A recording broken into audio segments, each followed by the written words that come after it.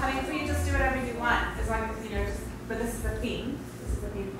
If you want to do the choreography, and also just helps with management of people, we're coming down, turning the arm, pivoting here, rolling onto our back, pivoting here, letting my leg help me up, coming back to the other side.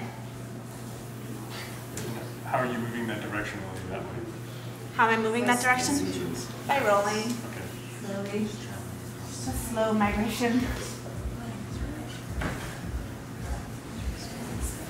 So notice I'm not coming up to the vertical.